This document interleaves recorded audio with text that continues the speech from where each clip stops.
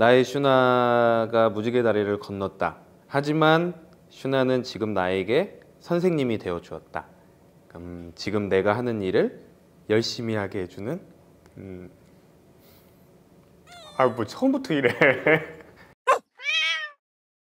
안녕하세요 설친이 여러분. 설천 수의사입니다. 네 오늘 좀 구도도 달라지고 보셨던 얼굴이겠지만 새로운 분도 계시고 분위기가 좀 사뭇 다르죠? 오늘은 제가 어, 설채연 수의사가 아니라 그냥 설채연으로서 어, 반려견의 보호자로서 영상 촬영을 하려고 합니다. 제가 야, 새나게에서도 그랬고 유키즈에서도 그랬고 슈나 얘기만 나오면 이렇게 울컥울컥 하는 모습들을 보신 분들이 계실 거예요. 그래서 저는 건강하게 이별을 했다 좋은 추억으로 남았다라고 생각을 하고는 있는데 우리 지난번에 조지훈 선생님이랑 컨텐츠 촬영을 하면서 잘 듣다 보니까 어? 내가 진짜로 좀 건강한 이별을 한 것인가 라는 그런 조금의 걱정 그리고 제가 뭐 상담이 꼭 필요한 사람이 아니더라도 지금 많은 슬픔과 힘듦을 겪고 계신 분들에게 이런 상담 과정을 보여드린다면 많이 도움이 되지 않을까 싶어서 펜로스 상담을 직접 해보려고 합니다 그래서 오늘 모셨습니다. 펜로스 상담을 전문으로 하고 계시는 조지은 선생입니다.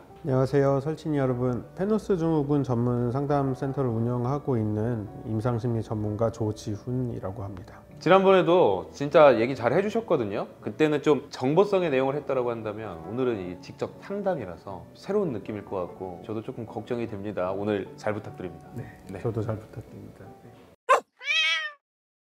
네, 오늘 안녕 상담소에 오신 설채연 보호자님 환영합니다. 안녕 상담소 네, 어떤 뜻인지 알 것 같은데 그래도 뭐 좀 다른 뜻이 있을까 해서 한번 설명해 주시죠. 우리가 처음으로 만났을 때 하는 인사가 이제 안녕이잖아요. 네. 반려동물과 내가 만났을 때 인사로서의 안녕 그리고 반려견과 사별을 하고 난 뒤에 안녕이라는 뜻 그리고 또 반려동물에 대한 기억을 우리가 잊고 살 수는 없는 것 같아요. 언제든지 우리에게 불쑥불쑥 또 찾아오기도 하는 그런 기억들과 감정들, 우리한테 또 찾아와 주는 이 존재에게 우리가 또 건넬 수 있는 인사 말도 또 안녕이다라는 의미에서 이제 안녕이라는 이름을 상담소 이름으로 결정하고 이렇게 우선은 상담은 총 8번의 상담으로 되어 있어요. 이제 애도 과정에 맞춰서 원래는 진행을 하게 되는데 오늘은 또 여러분에게 세노스 상담이라는 게 어떤 건지 좀 보여드리기 위한 목적도 있고 하니까 이 8번의 상담을 조금 추격해서 진행을 한다. 그런 점을 좀 생각해 주셨으면 좋겠습니다. 상담의 전반적인 과정은 이제 처음에는 아무래도 과거의 일들을 떠올리면서 차별이라는 것 들을 이제 수용하는 것들이 가장 첫 번째 이제 단계이다. 그리고 그 이후에 이제 감정들을 경험해 나가고 그 감정들이 어느 정도 이제 정리가 되고 나면은 또 현실에 적응을 어떻게 할 것인가. 그리고 마지막으로 우리가 사별을 한 존재를 어떻게 재구조화하고 살아나갈 것인가에 대해서 이제 이야기를 하는 게 마지막 단계다. 그렇게 생각해 주실 수 있고요. 가장 처음에는 일단은 현재 상태가 어느 정도인가에 대해서 이제 평가를 좀 해봐야 되는데 설문지 검사를 제가 드린 게 있었죠. 네한 세 개인가 네 개인가요? 네 가지. 네네 가지 정도를 했던 것 같아요. 먼저 PBQ라는 설문지를 처음에 작성을 해주셨을 거예요. 그래서 이 설문지는 제가 보내드린 다른 PTSD에 대한 설문지나 우울에 대한 설문지와는 다르게 정말 이 펜로스에 대한 것만 추정을 하는 설문지 검사다 이렇게 보실 수 있거든요. 펜실베니아 심리학과에서 이제 개발한 척도인데 번안을 해서 이제 제가 사용을 하고 있고 그 점수를 다 합산한 다음에 거기서 16점을 뺀 점수가 이제 자기의 점수다 이렇게 보실 수 있고요. 그 점수가 36.6 반올림해서 37점 정도를 넘어가게 되면은 차별 슬픔에 굉장히 좀 많이 빠져 있다라고 볼 수 있는 거고 저는 몇 점이 나왔나요? 어, 우선은 21점으로 아, 네. 점수가 많이 높지 않은 걸로 이제 나타나셨고 평균 점수가 한 28점 정도 되거든요. 네. 그래서 슈나에 대한 슬픔이 남들보다 덜하다, 이제 슬프지 않다, 뭐 이렇게 볼 수는 없지만 어느 정도 이제 내가 일상생활을 이어 나갈 수 있는 크기의 슬픔으로 조금은 변하지 않았나 하는 생각이 좀 드는 점수였어요. 첫 시간에 과제를 항상 내드리거든요. 나의 아이가 이제 무지개 다리를 건너갔다라는 문장으로 시작하는 그런 글, 혹은 아이를 떠나보낸 과정이나 이런 생각들에 대해서 글을 적어보게 과제를 내드리는데 작성을 좀 해보셨을까요? 네. 어, 뭔가 대충 좀 적어보면 나의 슈나가 무지개 다리를 건넜다. 반려견이고 싶었지만 애완견이었던 슈나가 같이 있을 때는 더 행복하게 해주지 못했는데 가니까 너무 후회가 된다. 하지만 슈나는 지금 나에게 선생님이 되어 주었다. 음, 지금 내가 하는 일을 열심히 하게 해주는 음, 아뭐 처음부터 이래. 네, 지금 내가 하는 일을 아주 열심히 하게 해주는 어, 원동력이자 선생님. 네, 이렇게 적었습니다. 에이씨.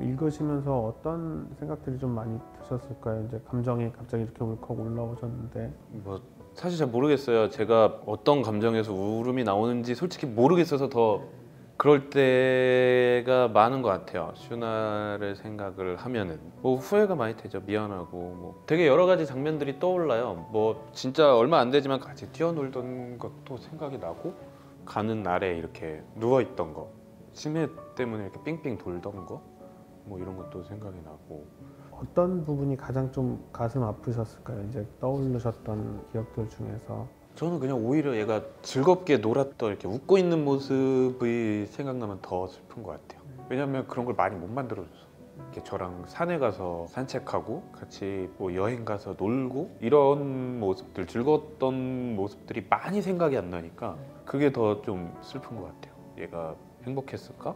그러면 답이 너무 심심하고 그렇게 재밌진 않았을 것 같아요. 죄책감에 대한 것들이 그렇죠. 많이 떠오르시는 네. 것 같아요. 저도 그랬던 것 같아요. 저는 2009년에 아이를 보냈거든요. 다롱이라는 여동생 같은 친구를 보냈는데 불과 최근까지도 그래도 다롱이가 행복하게 살다가 떠난 것 같아 라는 생각들을 그냥 막연하게 품고 살다가 한 1월 달쯤에 그런 생각들이 들더라고요. 진짜 근데 다롱이가 행복했을까? 10여 년이 지난 지금도 죄책감이 확 몰려오더라고요.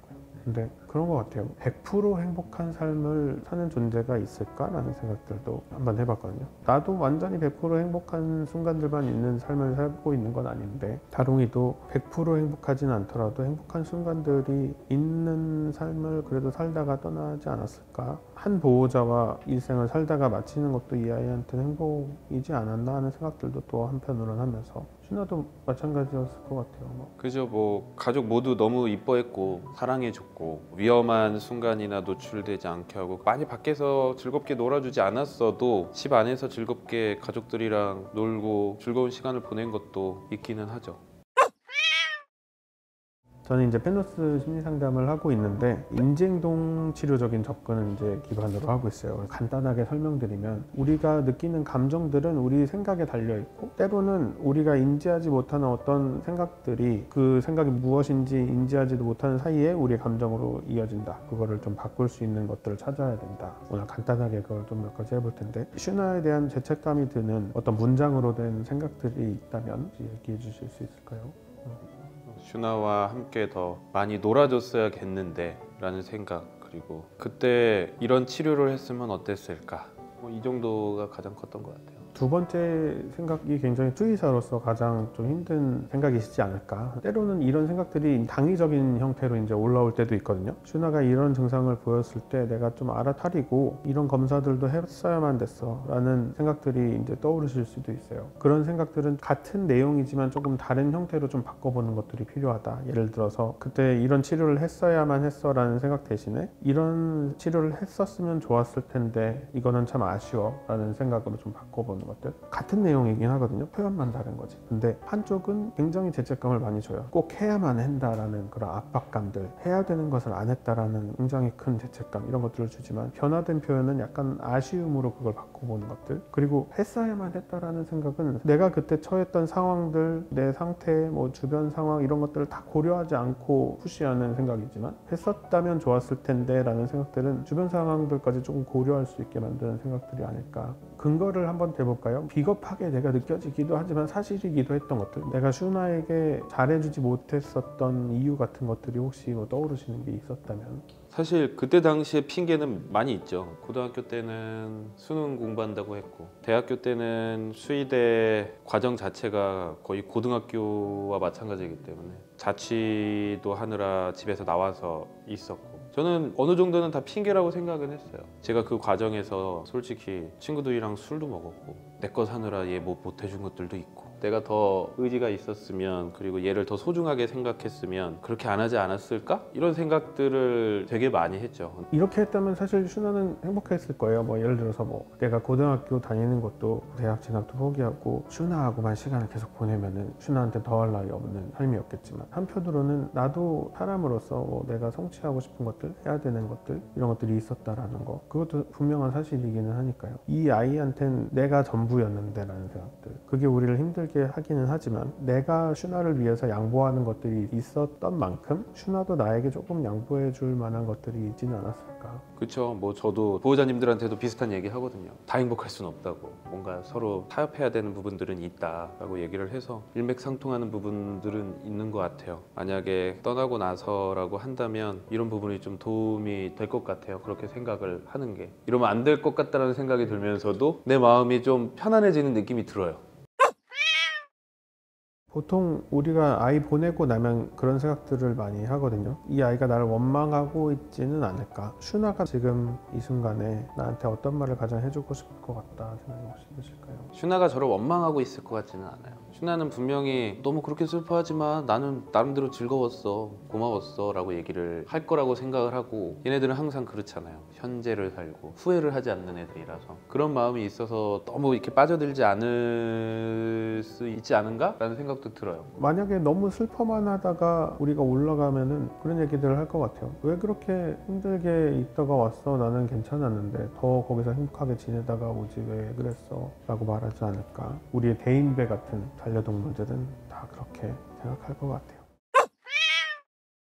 불쑥불쑥 다시 돌아오는 이런 감정들에 대해서 마지막으로 얘기를 좀 해봐야 될 것 같은데 설쌤은 이제 어느 정도 감정 조절 같은 것들이 잘 되고 지나치게 자주 찾아오는 감정들이 아니잖아요. 이제 네. 적극적으로 이제 슈나를 좀 떠올리려고 노력하고 이야기들을 하면서 이제 올라오는 감정들인 거고 어떻게 보면 지극히 당연한 감정인 것 같아요. 그런 것들이 올라왔을 때 우리가 어떻게 다룰 것인가. 저는 이거에 대해서 좀 명상이나 마음 챙김 같은 것들 이런 것들을 좀 이용해서 극복을 해보시면 좋을 것 같다 이제 말씀을 드리거든요. 마음 챙김이라고 하면 조금 생소한 부분들이 있으실 수 있는데 원리는 사실은 뭐 불교 명상에서 나온 개념이에요. 우리가 알아차리고 어, 판단하지 않는 자세 그런 것들이 찾아왔을 때 거기서 더 나아가서 뭔가 생각하거나 하려고 하지 말고 아 이런 기억이 떠올랐구나 이런 감정들이 나한테 올라왔구나라는 걸 한번 알아차리고 그냥 흘려보내는 거. 이게 사실은 쉽지는 않은 거죠 그래서 호흡에 이제 집중을 해본다든지 그럼 영상들을 하면서 나한테 찾아온 이런 감정이나 생각이 떠내려갈 수 있게 이제 한번 언제든지 다시 찾아올 수 있는 감정이고 언제든지 다시 마주해야 되는 거라면 피하지 않고 있는 그대로 받아들이고 그런 게 오히려 좀 도움이 될 수 있다 궁금한 게 있는데 가끔은 저도 모르게 이렇게 눈물이 나오는 제 모습이 싫지 않을 때도 있거든요. 슈나를 잊지 않고 내가 계속 이렇게 조금은 미안한 마음을 가지고 있는 것 자체가 무뎌지지 않았구나 이런 생각을 할 때도 있는 것 같아요. 슈나를 생각하면 제가 계속 웃기만 하는 게 더 좋은 건지 아니면 지금처럼 이렇게 눈물도 나고 이런 것도 괜찮은 건지 우는 게 꼭 나쁜 건 아닌 것 같아요. 그것 때문에 내가 일상생활에 지장을 받거나 그런 것들이 아니라면 당연히 애틋한 감정들, 그리움, 또 미안한 것들 다 가지고 살아갈 수밖에 없는 거기 때문에 다만 내가 힘들었던 것들만큼 즐거웠던 순간들도 분명히 있었어라는 걸 기억해 보는 게 중요하지 않을까. 그러네요. 아까 몇 가지 장면밖에 생각 안 났는데 지금 얘기를 듣고 보니까 다른 장면들이 생각이 났어요. 생각보다 많이 놀러 갔네요. 처음에는 저희 강릉 갔던 것만 좀 생각이 났는데 안면도 바닷가도 자주 놀러 갔었고 눈 오는 날이면 뒷산에 가서 같이 좀 풀어놓고 놀았던 것도 좀 생각이 나고 내 가족이랑 즐겁게 놀았던 장면이 제가 지금까지 기억했던 장면보다는 조금 더 있었던 것 같아요. 사진첩 같은 거라면 힘들었던 순간들만큼 즐거웠던 순간들도 기억에 넣어두고 항상 꺼내보려고 노력해 보는 것들도 중요할 것 같아요. 제가 이제 상담의 끝에 항상 이런 질문 드리거든요. 이제 우리 설쌤의 앞으로의 계획은 어떤 게 있으신지 오늘 저는 상담을 하면서 느낀 건데 저는 제가 하는 일과 앞으로의 계획 때문에 슈나를 생각하면 눈물이 나기는 하지만 더 좋은 감정이 많이 드는 것 같아요. 저는 항상 얘기하고 다니거든요. 좀 문화를 바꿔보고 싶다. 제가 이 놀로라는 회사를 하는 것도 방송을 하는 것도 강의를 하는 것도 결국에는 제가 잘 못했던 것들 반려견과 보호자가 같이 행복한 시간을 조금이라도 더 늘려보자 이게 제 계획이거든요. 아까 편지에도 썼지만 슈나가 선생님이자 원동력인 것 같아요. 우리 슈나 선생님 덕분에 아이들이 앞으로 더 행복하게 살 수 있는 세상이 오기를 네, 또 저도 그걸- 진심으로 좀 바라겠습니다. 네. 오늘 이렇게 상담을 좀 진행을 해봤는데 좀 어떠셨을까요? 뒤로 갈수록 선생님과 상담을 하면서 저한테도 도움이 되게 많이 된 것 같고 가끔 그런 것 때문에 저한테 물어보고 도움을 요청하는 분들이 있는데 그분들한테도 제가 뭔가를 할 때 도움이 좀 될 것 같고 이 영상을 보신 분들한테도 좀 도움이 될 것 같아요. 저 같은 경우는 그 사진첩 제가 그동안 난 얘랑 정말 즐거운 시간을 많이 못 보내줬어라고 했는데 계속 대화를 나누다 보니까 갑자기 생각이 났어요. 사진첩에 한 10장은 더 꽂힌 것 같아요. 그러다 보니까 마음이 좀 안정이 되는 것도 있고 어떻게 보면 비겁한 느낌이지만 아까 같이 그런 얘기들을 해주셨잖아요. 내가 그렇게 시간을 못 내준 이유들 어, 그런 이유들도 더 늘어나면서 아 내가 그때는 꽤 힘들긴 했겠다라는 생각도 들면서 슈나를 생각하면 다음에 또 눈물이 나기는 하겠지만 웃음도 더 많이 날 것 같고요. 저한테도 도움이 많이 되는 시간 이었어요. 오늘 설쌤이 너무 감정을 숨기지 않고 이렇게 솔직하게 해주셔서 많은 분들한테 좀 더 도움이 될 수 있는 시간이지 않았을까 하는 생각이 좀 드는 것 같고요. 뭐 8주 동안 해야 되는 내용들을 조금 압축해서 하느라고 좀 아쉬움이 있기는 하지만 오늘 있었던 이 경험들이 설쌤이 가지고 있는 어떤 해결되지 않은 감정들을 좀 해소할 수 있는 시간이셨으면 어땠을까 하는 그런 바람이 있습니다. 네. 네, 오늘 제가 이렇게 한번 조지훈 선생님과 펜로스 상담을 받아봤는데요. 이렇게 오랜 시간이 지난 이후에도 했을 때 마음이 안정되는 걸 느끼는 걸 보면 여러분들도 혹시라도 지금 많이 힘들어하고 계신다라면 상담을 꼭 한번 받아보시는 거를 추천드립니다. 그리고 힘들어하고 계신 분이 있다면 부끄러워할 일도 아니고 나 혼자만이라는 생각 가지지 마시고 저도 그렇고 많은 분들이 이런 감정을 가지고 있다라는 거 잊지 마시고 힘내시고 오늘 영상이 많은 도움이 되셨으면 좋겠습니다. 다음번에도 더 좋은 정보로 찾아오도록 하겠습니다. 또 놀러 오세요. 안녕.